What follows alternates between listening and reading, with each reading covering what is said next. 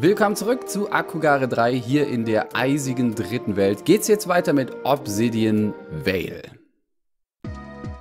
Mal schauen, ob weiterhin Eisphysik am Start ist. Oh, in der Tat. Ist das Layer 2 plus rutschiges Eis? Ich dachte eigentlich, das würde gegen irgendein ähm, Friedensabkommen verstoßen oder so. Da kommt was auf mich runter. Aber ich kann hier stehen. Die Frage ist, will ich das? Eher, ne, woran bin ich denn da gestorben? An dem Ding da? Es ist kein Mancher, es ist kein Spike. Es ist ein gestreiftes Schlosselement. Oder ein Eiszapfen. Irgendwie sowas. Ich will auf jeden Fall hier direkt durch. Ist mir das erlaubt? Irgendwie schon. Das ist sehr nett. Au! Oh, was ist das da oben für ein Kollege? ein Dino-Rino in seiner nächsten Entwicklungsstufe. Da möchte ich eigentlich hin. Weil das sieht aus, als würde der für ein bisschen Wärme sorgen. In dieser Eiseskälte. Keine Ahnung, aber irgendwie habe ich bei der Stelle immer das Bedürfnis, hoch abzuspringen. Darf ich aber nicht. Ich meine, theoretisch vielleicht. Mhm. Schon wieder! Ich. Lol. Ich, ich, ich nehme irgendwie nicht wahr, dass von da oben ein Hindernis runterkommt. Was verdächtig ist, weil es schon wieder leichte Blautöne hat. Liegt's echt daran? Wäre schon witzig, oder? Mein Hirn filtert alles raus, was blau ist. Das ist definitiv keine Farbenblindheit. Das sage ich nur so zum Spaß. Hoffe ich. Ach so. Hm. Ist mir vielleicht doch ein bisschen zu heiß. Ich habe zwar keinen Wintermantel dabei, aber direktes Feuer muss jetzt doch nicht sein. Das heißt, was mache ich denn hier dann eigentlich? Dieser grüne Cooper, ja, aber der kommt da so angeschlichen. Ich brauche mehr Zeit. Wo kriege ich die her?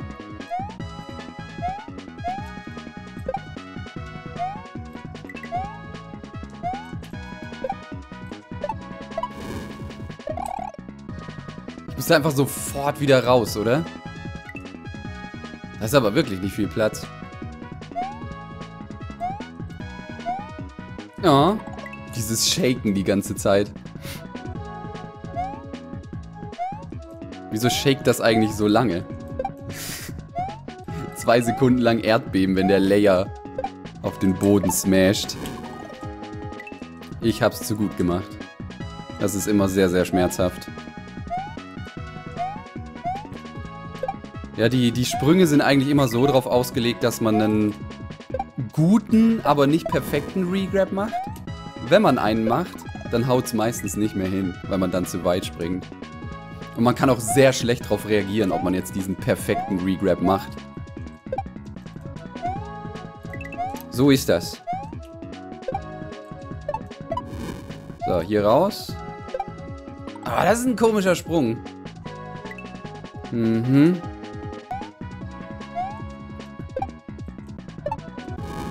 Nein, nicht schon wieder. Ja, eigentlich kann man das sau spät erst drücken. Beziehungsweise man muss. Mache ich mir das jetzt einfach zunutze. Dass man sich da nicht anstrengen muss. Wo geht das Ding hin, ey? Ah! Oh man.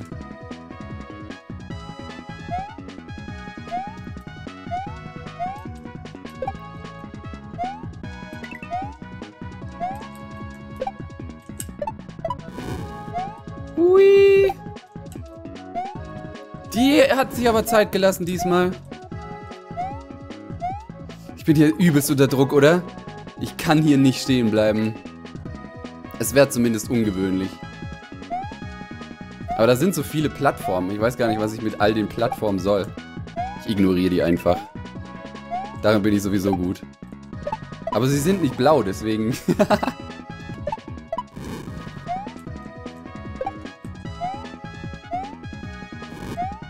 Uff. So, ich renne hier jetzt einfach mal durch. Da kommt noch mal eine hoch.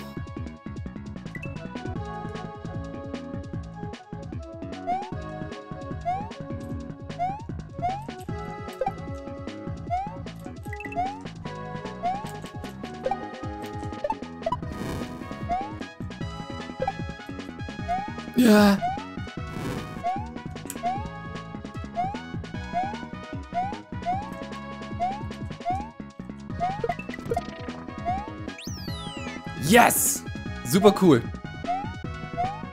Und ich mag immer noch diesen Schneeeffekt. Es ist zwar, sind zwar nur zwei Grafiken, die gespiegelt sind, aber es sieht super nice aus. Hey, das habe ich als Abspann.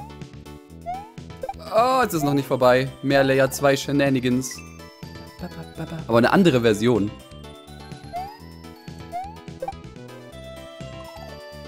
Ach, war das nur Pech, dass der Fragezeichenblock gerade eben noch nicht an der Stelle war? Und dieser Layer legt erst los, nachdem ich ihn betrete. Das ist gar nicht so schlecht, weil dann ist das Timing immer gleich. Obwohl ich mich irgendwie frage, wofür ist dieser Cooper? Kann ich den nicht einfach überspringen? Oder... Das ist gar nicht die Art von Layer, die ich dachte. Nein! Die sinkt kontinuierlich immer weiter nach unten. Jedes Mal, oder solange ich drauf stehe. Das ist ja interessant. Das heißt, ich will das so wahrscheinlich so viel wie möglich vermeiden. Weil ich sonst irgendwann keinen Boden mehr unter den Füßen habe. Das ist ja ein cooles Ding. Eine Sache, die man im Hinterkopf behalten müsste. Was hat, was hat mich da jetzt gekillt? Moment, halt, stopp. Sind, ist die Seiten von dem Zeug tödlich oder war da wieder ein Spike, ein blauer, den ich nicht gesehen habe? Ach ja, hinter dem Ninji. Ich muss das anders machen. Ich muss hier weniger springen. Ja, damit der hier... Damit der hier tief springt. Weil so ein kleines bisschen hat er die Gene von einem normalen Ninja übernommen. Und springt unterschiedlich hoch. Trollolololol.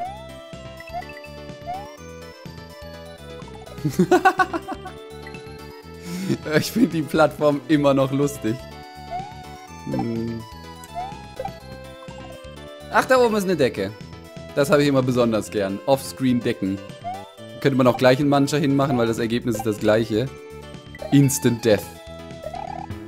So.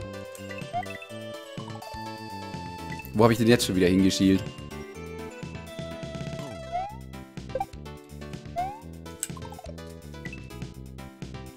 Das kann man so nicht machen. Ach ja, friss meine Inputs. Geil, finde ich immer supi. Äh, was ist mit dem Block los? Wieso, was, wie, wie kann der so viele Inputs fressen? Oh, es geht nicht zurück hier. Das ist schade. Ich habe in der Beschreibung gelesen, es gibt Secrets. Ich habe bisher noch nicht eins davon gefunden. Ja gut, ein bisschen Beeilung kann man ja wohl erwarten. Von so einem Fragezeichenblock. Ich muss hier länger warten. Oh. Schon läuft das. Also. Ist der hart zu treffen? Der sieht sehr hart zu treffen aus, weil der latscht da über die Kante und dann fällt er. Wie ein Stein. Ui.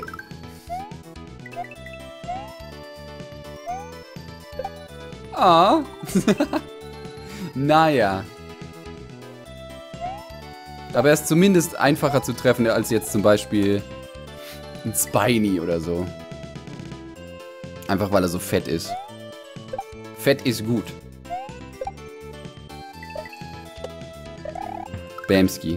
Gibt's hier irgendwo ein Secret? Naja, eigentlich sollte ich danach nicht Aus Ausschau halten.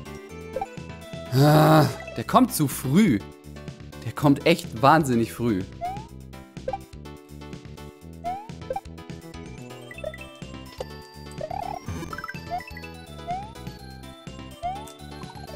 Ach, und das zählt nicht? Dann ist er vielleicht doch nicht so leicht zu treffen, wie ich gedacht habe.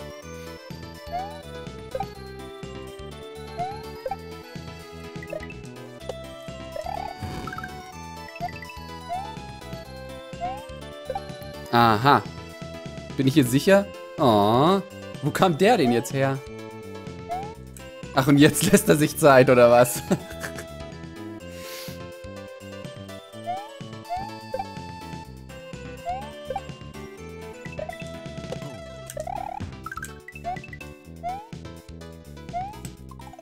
Boah. Auf der Nase muss man ihm landen. Zwischen den Augen. Ja, die Stiefel müssen zwischen die Augen. Ist halt so schwierig wegen dem Eis. Nicht dein Ernst. Okay, was muss ich hier noch tun? Dem Ding einfach nur ausweichen? Da hinten, diese, diese Kante. Die sieht verdächtig aus. Als ob da noch so ein Dino-Rino angelatscht käme. Aber, bisher jedes Mal, wenn ich einen Troll vermutet habe, war da keiner. Sondern natürlich immer nur, wenn ich keinen vermute.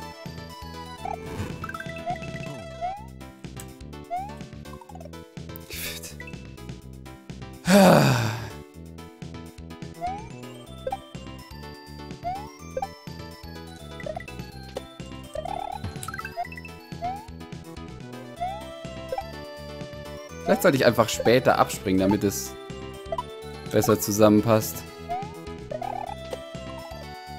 Natürlich ist da wieder irgendwo ein Spike. Man kann ja nicht mal einmal vorausgucken.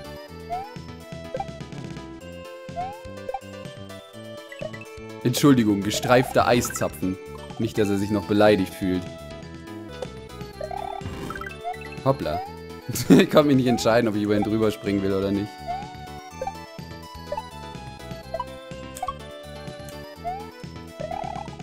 Ah.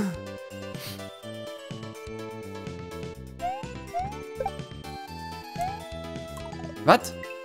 Ich dachte, der wäre schon einmal mitgesprungen gewesen. Wieso nicht?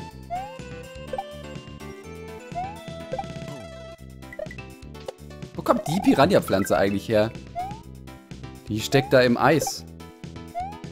War das zu früh? Ja! Aber wegen dem hier. Super merkwürdig.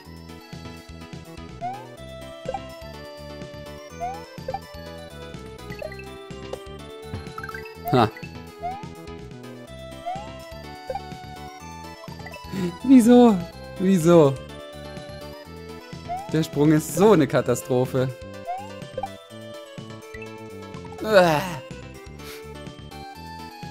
Und dann ist es glitschig und kalt und irgendwie auch nass. Meine Hose ist schon ganz durchgeweicht. Aber nicht vom Schnee.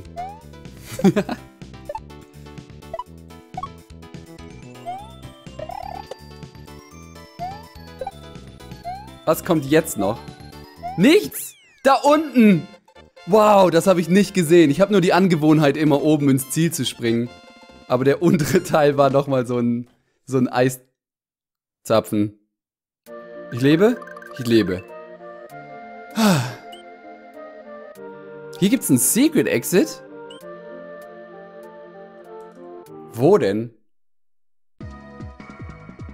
Habe ich, äh, hab ich zwar nicht drauf geachtet, aber mir ist auch keine verdächtige Stelle aufgefallen. Hm. Aber normalerweise bei diesen Layer 2 Geschichten hängt es immer irgendwie damit zusammen, dass man abwarten muss oder so. Nee, da oben ist was. Da oben ist eine Röhre. Na gut. Dann lag es einfach nur daran, dass ich nicht drauf geachtet habe. Trotzdem... Ach, dafür ist das. Jetzt ergibt das Sinn. Ich habe mich schon gefragt, warum das so großzügig hier aufgebaut ist. Ah. Bin froh, wenn ich den Eiszapfen entkomme. Die nicht mal wie Eiszapfen aussehen. Also ich chill hier. Und gehe in die Röhre. Ist das nochmal ein extra Abschnitt? Guten Tag. Bowser Schneebälle. Ah, cool.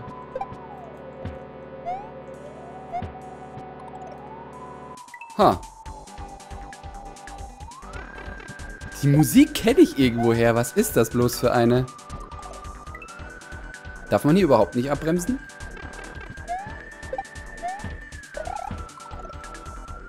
Ja, bietet sich an. Also ein kleines bisschen abbremsen natürlich. Hm. Was ist das denn? Ein hübscher Schneeball in Form eines Kohlkopfes.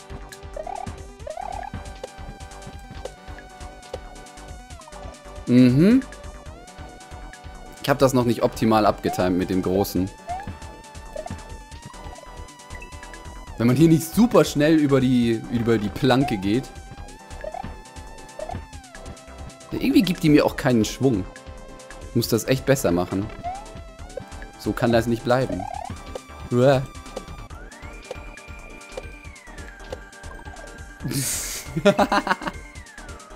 Mit dem Bounce habe ich nicht gerechnet. Das ist gar nicht so schlecht. Aber der lässt sich echt Zeit, alles klar. Dann kann ich unter dem durchlaufen. Ich darf nicht abbremsen. Ich möchte sicheren Halt finden auf dieser Plattform, aber ich darf nicht. Ich muss direkt weiter.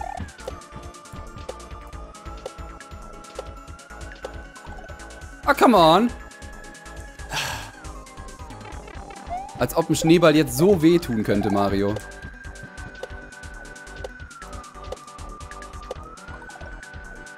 Es kommt halt drauf an, ne? Das genau, auf das genaue Timing, ob ich jetzt unten oder oben drüber will.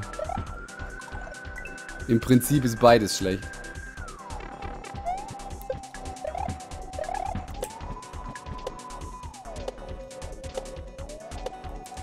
Komm, lass mich leben. Darf ich mich hier kurz ausruhen? Ausruhen ist nie gut. Immer wenn ich mich ausruhe, mache ich anschließend einen unfassbar dämlichen Sprung. Ich bin echt mehr so der Flow-Spieler. Yep, nicht stehen bleiben. Aber dann bis da hoch.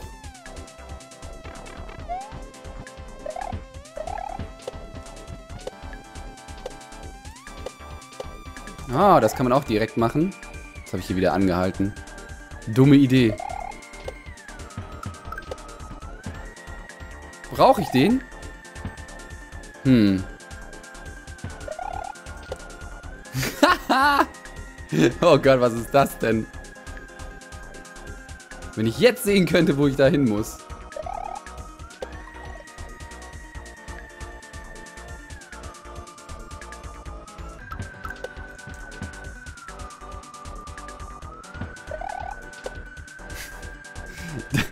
Sich gedacht, hm, wenn es so schwierig ist auf so ein Dino-Rino, oder wie heißen die Großen, ich kann mir das nie merken, drauf zu springen, dann ge geben wir den Leuten jetzt einfach einen riesigen Schneeball, den man nicht verfehlen kann. Ich muss jetzt irgendwie darüber. Aber es ist so weit. Es ist so weit.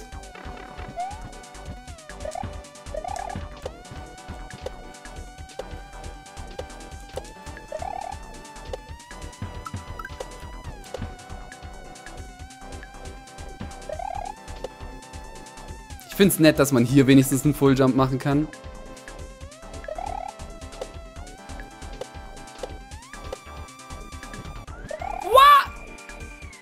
Das war eine der ungünstigsten Hitboxen, die ich jemals gesehen habe.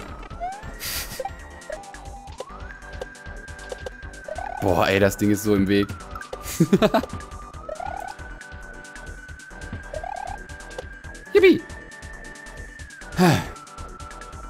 Konzentration.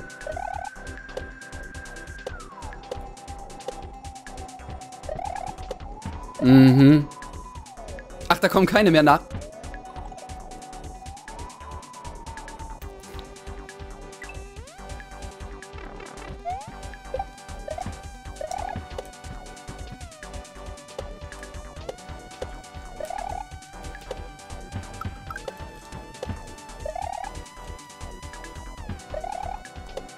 Mhm. Hier warte ich irgendwie echt lieber ab.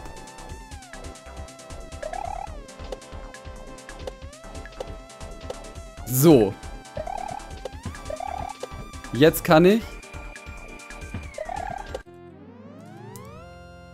Super. Einfach richtig gut gemacht. Und das bringt mich zum zweiten Schalterpalast. Jokes End. Das Ende des Witzes. Jetzt hört der Spaß auf. Mhm. Ist das zeitlich begrenzt? Es ist zeitlich begrenzt, aber man hat keine Musik. Das weiß ich ein bisschen zu schätzen, weil die P-Switch-Musik doch ziemlich nervig ist auf Dauer. Was ist das? Also, das wären wahrscheinlich Blöcke gewesen. Der springt einfach weiter. Ich stampf ihm den Schädel ein und der springt einfach weiter. Ist das hier so eine Art Tutorial? Vermutlich. Come on. Da dachte ich, ich bin den Eiszapfen entflohen, aber sie wachsen sogar hier im, im Schalterpalast. Ah, das wird nicht reichen.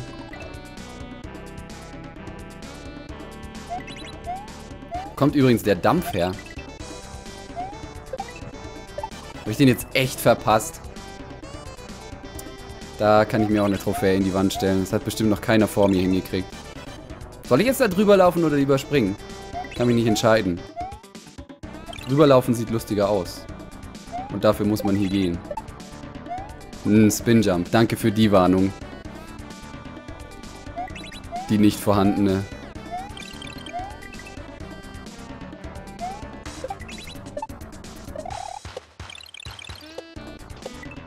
Ah, gerade noch.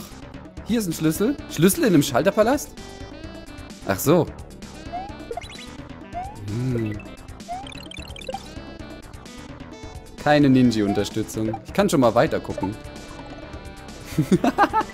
Blauer Eiszapfen? Wird von mir nicht äh, erkannt als Hindernis. Einfach ignoriert. Wow, was war das denn? Die bringen einen von der Seite nicht um? War das in den anderen Leveln auch schon so? Uff. Mhm. Wieder die zwei.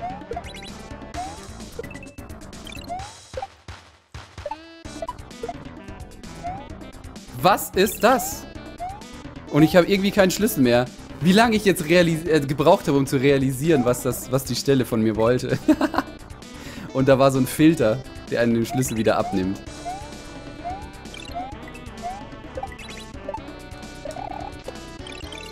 Stachelkugel. Ha, diesmal habe ich andere Blöcke übrig gelassen. Was sagt ihr jetzt? Mhm. Kaiserblock? Oh, das hätte ich jetzt gerne gewusst. Was wurde da zerstört? Hätte ich das gebraucht? Nein! Achse! Das ist tatsächlich so. Der kommt da einfach raus. Wahrscheinlich wegen dem Timing.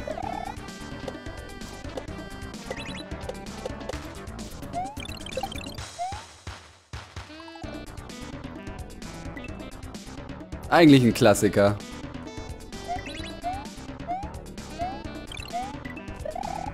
Oh.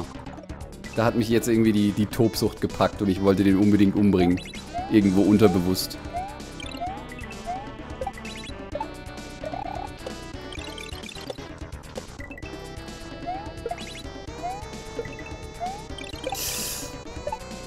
Gott. Das war eigentlich überhaupt nicht gut. Da zittert er. Und jetzt ist er da. Trotzdem, ich brauche mehr Vorbereitungszeit. Damit ich auch so richtig heftig daneben springen kann. Yes! Oh Gott.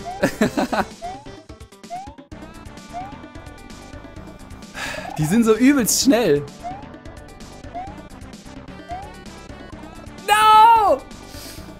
God.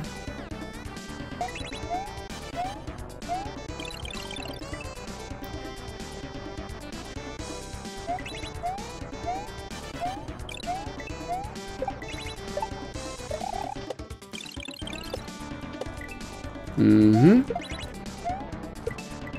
Das Timing von den Schaltern ist ja eigentlich relativ großzügig. Hier spielt es eigentlich auch gar keine Rolle.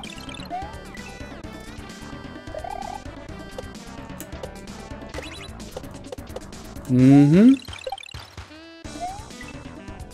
Was mache ich mit euch? Holy moly, das ist einfach knapp. Und bestimmt kommt jetzt noch ein Troll.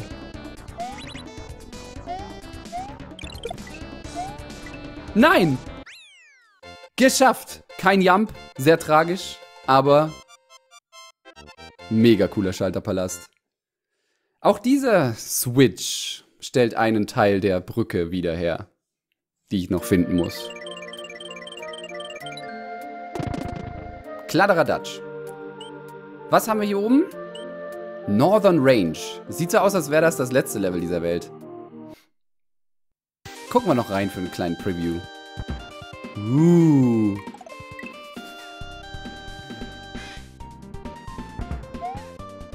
Oh, diesmal spawnen da mehr als einer.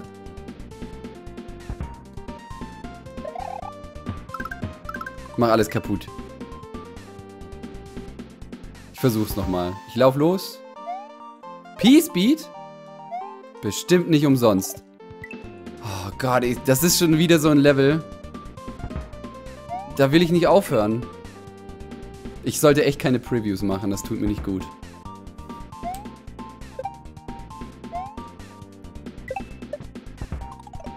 Wie habe ich denn den getroffen? Das ist sehr unmöglich. Zumindest, wenn man es wollte.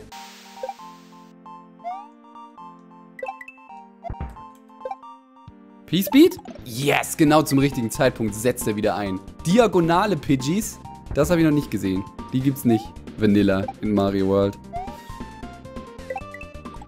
Ja. Das ist eigentlich eine ziemlich interessante Mechanik, dass man ja, den P-Speed kurz verliert und dann während des Sprunges, ah, das ist irgendwie voll einfach, dass das hier schief geht. Und während des Sprunges ihn wieder zurückkriegt.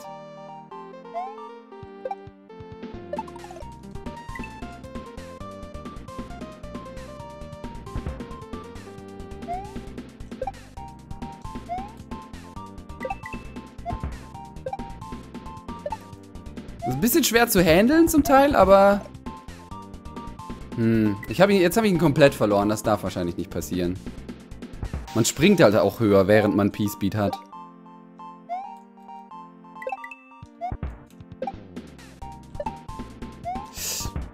Uff! Und das ist halt auch eine Sache, die einem vor allem ganz am Anfang super schwer fällt. Ja, abzuschätzen, wann man in der Luft diesen Speed wieder zurückbekommt. Weil man hat ja keine Anzeige wie in SMB 3.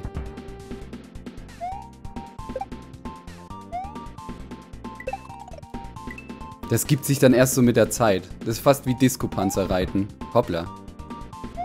Das war keine Absicht. Das habe ich hier schon alles kaputt gemacht, oder? Nein?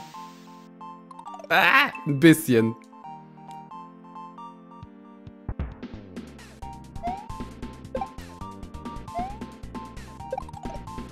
Ernst? Wo ist denn dem seine Hitbox? Die ist mindestens ein komplettes äh, Teil hinter dem. Ja, bei dem nicht. Ist es, Knapp ist das schon.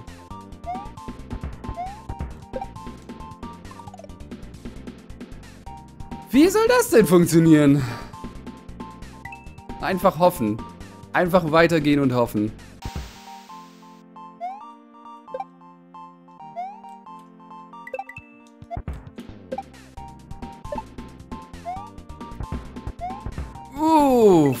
Auf der Plattform kriegt man die nicht zurück. Wenn man da den P-Speed verliert, dann war's das.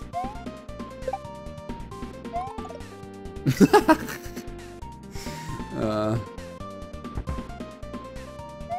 Mit Liebe platziert. Ist doch in Ordnung. Kann man doch nichts gegen einwenden.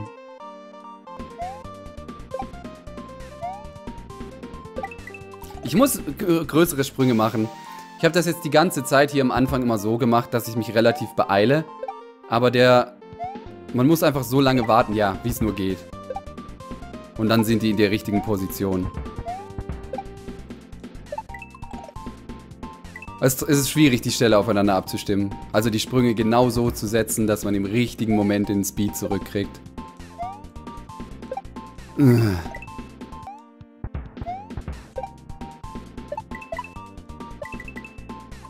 Als ob. Man muss hier doch einen Fulljump machen, obwohl man dann in den Mancha reinspringt? Oder zumindest ziemlich sicher in den Mancha reinspringt? Das ist heftig.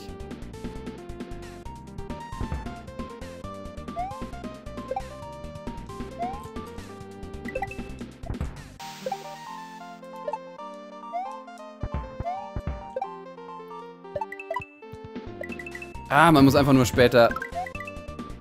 Später abspringen. Das kriege ich noch hin. Mir Ist zu spaßig, um jetzt aufzuhören.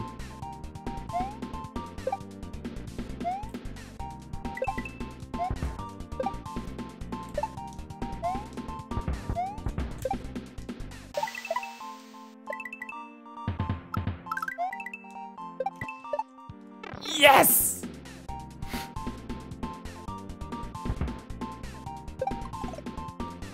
Das ist aber schon ein Checkpoint, oder? oh, danke. Und jetzt macht er das Ganze wieder, jetzt zerstört er das. Mit so einem Abschnitt. Mit so einem Auswendiglernen-Ding. Das aber zumindest interessant aufgebaut ist.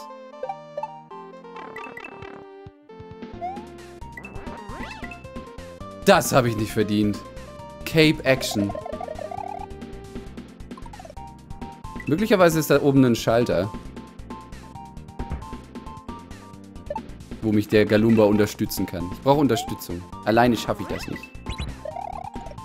Ja! Tatsache.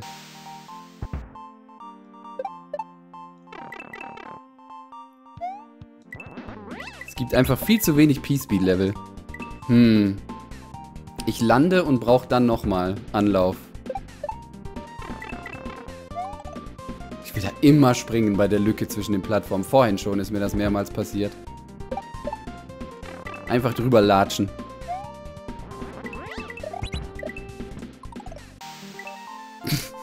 ich weiß nicht, was ich erwartet habe.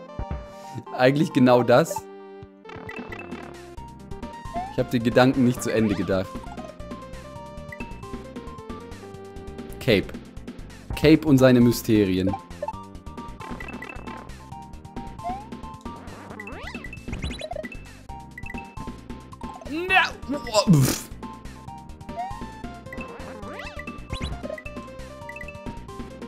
Wofür ist der Block da? Nein, der Block ist dafür, dass man den P-Speed behalten kann.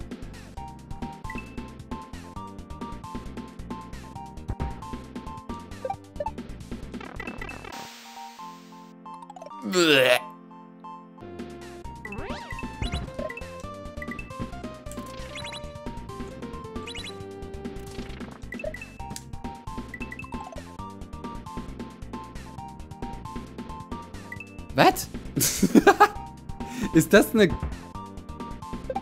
merkwürdige Mechanik, bei der man von der Kante läuft und dann instant wieder in den Flug übergeht? Aber warum? Die kenne ich nicht.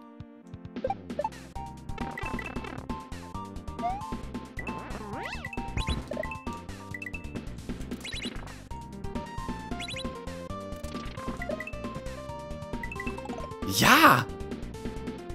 Super merkwürdig.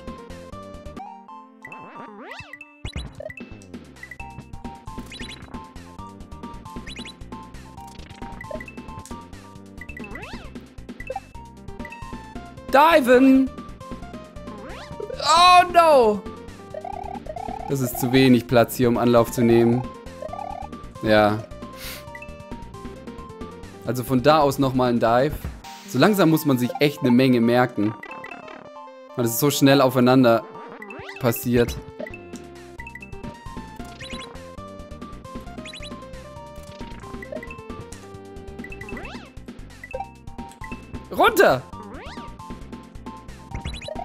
Und jetzt normaler Sprung, Drehsprung. Man weiß es nicht.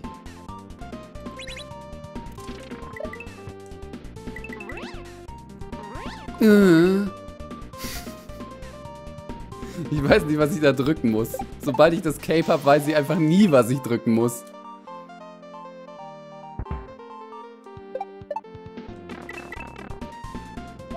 Und vor allem nicht so schnell.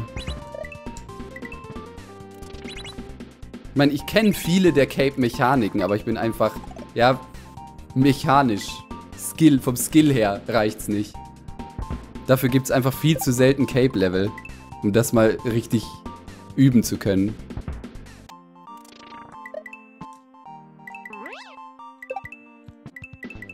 Hui! ich kann da einfach stehen bleiben, oder? Dieser Sprung ist... Es kommt drauf an. Muss ich den P-Speed behalten?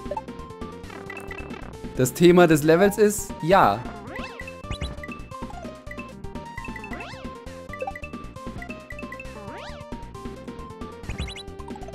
Ich schaff's nicht, da abzuspringen. Es ist genau der gleiche murksige Sprung wie der davor. Wenn ich nur sehen könnte, was da ist. Ich springe da jetzt einfach mal so hin. Ohne P-Speed. Das Level hat mich dazu gebracht.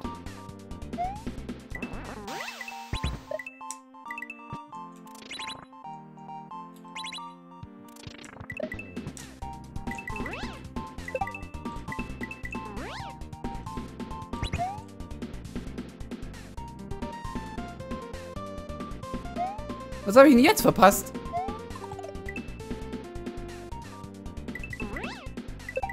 Der war so flach. Was ist denn das für ein Omega-Jank? Manchmal wird er einfach doppelt aktiviert und dann ist hier instant wieder zu.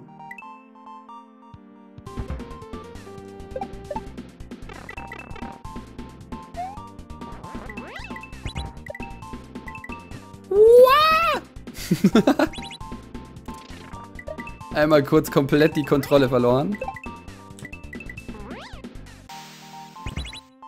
Okay. Man muss es nicht. Man muss den Speed nicht behalten.